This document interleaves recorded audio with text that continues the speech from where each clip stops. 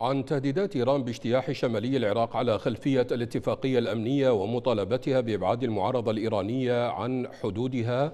ينضم إلينا عبر سكايب من أربيل الأكاديمي والباحث السياسي الدكتور عبد السلام برواري دكتور عبد السلام حياكم الله ومرحبا بكم. أه، يعني رغم تطمينات فؤاد حسين في زيارته إلى طهران ورغم إعلان الحكومة في كردستان نقل المعارضة الإيرانية بعيدا عن الحدود الإيرانية وبالتالي أه، سحب سلاحها لكن طهران ما زالت تتحدث عن انتهاء المهلة التي أعلنتها لنقل أه، المعارضة الإيرانية الكردية دكتور عبد السلام كيف تقرأ حديث إيران عن المهلة رغم كل هذه التطمينات؟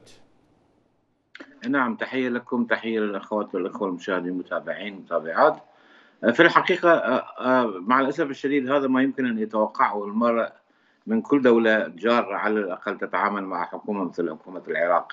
يعني آه، نعرف جيدا حكومة معينة يحق لها أن تصدر أوامر وتطالب مكوناتها الإدارية بالقيام بهذا وذاك ولكن هم يصدرون أوامر للحكومة العراقية. آه، هذا هذا ليس جديدا اولا. ثانيا لغة التهديد بالاجتياح أيضا. يعني آه، عاده إذا حدث حادث مثلا اليوم في في بين في آه، بين أذربيجان وأرمينيا حدث حادث معين يؤدي إلى أن تتصاعد الأمور. المشكلة لم يحدث خلال الأشهر الماضية أي شيء يدعو لايران بأن تتحدث بهذه اللهجة المهددة بشن حرب واسعة. هذا نفس الموقف قبل سنتين عندما آه، ضربت اربيل بالصواريخ بصناعة الصاروخ اذا الموضوع ليس تواجد آه، قوى المعارضة على الحدود أو لا. آه، هناك مسألة بالتأكيد لها جوانب أخرى قد يطول الحديث عنها وليس لدينا الوقت. أريد فقط أن أقول معسكرات حتى إذا كانت هناك قوى مسلحة. القوى الكردية ليست موجودة على الحدود لكي يتم نقلها من الحدود يعني ما تردد يبين وكأن هناك عملية كبيرة نجاحا كبيرا الإيرانيين يريدون أن يضخموا الموضوع كل ما في الموضوع في آه، منطقة حاج عمران وباتجاه المثلث الحدود نعم. أنا أعتقد بشريط لا يطول عن عن 10 كيلومترات كانت هناك بعض نقاط ممكن نسميها مثل نقاط تفتيش نعم. يعني آه، بعكس مثلا حزب العمال الكردستاني من تركيا اللي يحتل شريط حدود أطول من 200 كيلو متر وبعمق أحيانا 20 كيلو متر ولم يتحدث أحد عنه. المعسكراتهم موجودة في كما ورد في تقريركم في عربة آه، زرغزير في كويا التي تبعد أكثر من حوالي 200 كيلو متر عن الحدود. آه، وسبب هجرة الأهالي والمخيمات والعوائل من هذه المعسكرات البعيدة أيضا عن الحدود هو للتجارب السابقة يعني سابقا أيضا بدون أن يكون هناك سبب فعلا يؤدي إلى تصعيد الأمور قامت إيران بقصفها بالصواريخ بعيده المدى أو حتى جاءت قوات قريبة عنها. آه لذلك آه أنا أريد آه يعني أشير إلى نقطة مهمة جدا لأدعم كلامي هذا كله. في 1992 تعهدت الأحزاب الرئيسية الكردية الإيرانية اللي كانت موجودة هنا. طبعا نتيجة الثورة الإيرانية ونتيجة حرب العراق الإيرانية عشرات الآلاف من العوائل تعهدت بعدم القيام بأي عملية أو نشاط عسكري انطلاقا من الأرض العراقية حتى لا تعطي إيران أي مبرر والتزمت بذلك. فقط هناك مجموعة هي أيضا تابعة لحزب العمال هي التي كانت أحيانا في السنوات الماضية. نعم. تقوم بإطلاق عدد قليل من الإطلاقات لكي تعطي لإيران المبرر بأن تبدأ موسم القصف المدفعي.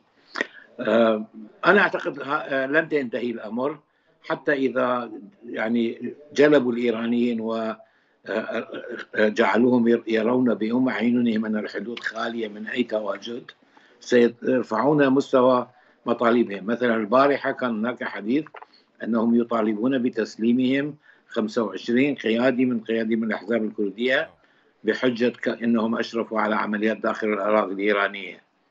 وهذا طبعا لاحظ هذا دليل على التصعيد. كما تفعل تركيا أيضا مر أحيانا. عندما يتم الحديث عن أي موضوع تضع شروطا مثلا بخصوص السيطرة على معسكر مخمور جنوب أربيل. نعم. كان أحد الشروط الإيرانية التي هي التركية. هو أن يسمح لها بأن هي التي تشرف على هذا المعسكر الذي هو طبعا يضم مهاجرين كرد من تركيا طيب. هذا يخل بالسيادة الوطنية دكتور مجمل الموضوع نعم. مع الأسف الشديد آه، هناك وضع في كردستان العراق يختلف عن بقية أجزاء آه، العراق هناك الميليشيات الولائية لنقول نعم.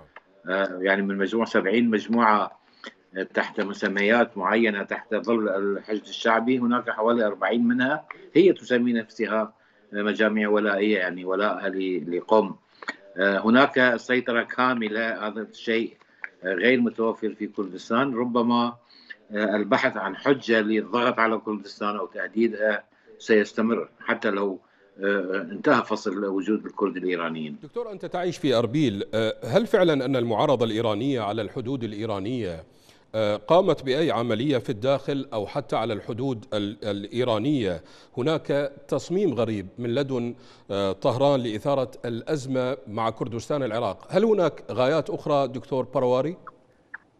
نعم يعني أنا عفوا في إجابتي السابقه اشرت نعم. آه، يعني بصورة عامة إلى أن الموضوع ليس التواجد أو القيام بعمليات بل الموضوع أكثر عدم الرضا عن سياسة الإقليم مع أن الإقليم له علاقات جيدة تاريخيه الأقليم آه، له علاقات اقتصادية. هناك ثلاث أربع منافذ حدودية آه، في المرحله الأخيرة مثلا حكومة إقليم كردستان شاركت في نقل الزوار. في كل مناسبة يشيد آه، القادة عندنا بدور الإيرانيين ومساعدتهم لنا منذ 75 مساعدة اللاجئين إلى غيره. ولكن السبب الرئيسي طبعا هو هذه السياسة. بثلاثة يعني الاتهام موجه للحزب الديمقراطي الكردستاني لأنهم يعرفون أن وجود شخصية مثل مسعود البرزاني ليس من السهل أن يرضى لرغبات هذه الجهة أو تلك. آه هذا من ناحية. آه، ومن ناحية أخرى آه، آه، يعني أحسن مثال لكي يثبت بأن الأحزاب الكردية الإيرانية واعية لدورها وموقفها الحساس هو ما حدث بعد أن بدأت المظاهرات بعد قتل جينا أميني يعني ماساه التي يسمى بالإعلام والتظاهرات التي بدأت بإيران وخاصة في المدن الكردية. أنا تحدثت مع أحد قادتهم وسألت عن الوضع. أخبرني بأن هناك ضغطا كبيرا جماهيريا ومن جهات أخرى نعم. لجرهم إلى القيام بعمليات عسكرية يعني من الحدود العراقية أو نقل قوات عسكرية إلى مناطق هناك. فقال نحن أدركنا بأن هذا فخ ويريدون منا أن نعطي إيران مبررا لكي تبدأ حملة عسكرية قوية على كردستان إيران ثم على الحدود لتصرف النظر عن ما يحدث داخل إيران. لاحظ هذا تصرف يدل على أن هذه الأحزاب تدرك الوضع جيدا. لذلك التزمت كما قلت أنا منذ 1992 بعدم القيام بأي عملية تعطي إيران مبررا. إذا الموضوع ليس فقط تواجدهم لأن تواجدهم موجود منذ 1980 تقريبا لحد الآن. إذا الأحزاب كما تفضلت دكتور عبد السلام تدرك الأوضاع جيدا. هذا التهديد الذي تمارسه طهران وتتماهى معه حكومة بغداد دكتور ألا يمس بالسيادة الوطنية؟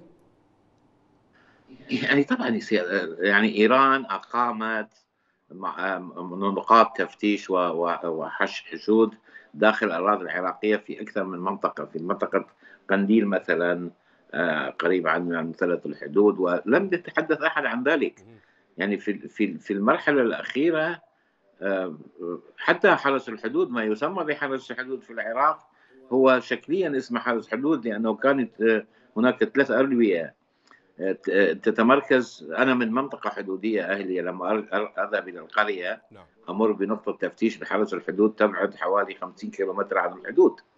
في هذه المرة مجرد لترضيه إيران أو مجرد لكي يظهر بعض إخلاصهم. لا أدري كيف أصف الموضوع.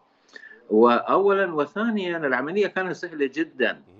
يعني مع التصعيد واللغة العدوانية الإيرانية. ولكن كما قلت أربع خمس نقاط شبه مثل أبراج المراقبة. نعم. وبالمناسبة آه، هم سحبوا آه، آه، عناصرهم من الحدود قبل أن أصلا أن تبدأ تحركات يعني ألوية الحرس الحدود العراق الفدراليه مع البيشمركه للاستقرار في الحدود. ونحن كنا في مفاوضاتنا مع العراقيين دائما ندعوهم إلى أن يأتوا ويستقروا ويقوموا بواجبهم لأن حماية الحدود الدولية هو هو واجب الجهات الفدرالية.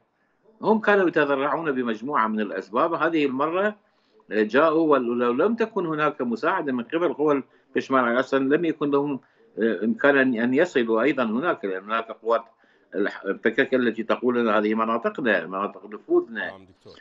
آه، لذلك أنا كما قلت يعني 10 كيلومترات تم السيطرة عليها وتظهر المسألة وكأن هذا انتصار كبير للتهديدات الايرانيه أنا أتوقع أن يستمر آه، يعني آه، التهديد وسلسلة إيجاد حجج أخرى لأن الموضوع ليس فقط تواجدهم عبر سكايب من أربيل الأكاديمي والباحث السياسي الدكتور عبد السلام برواري شكرا جزيلا لكم.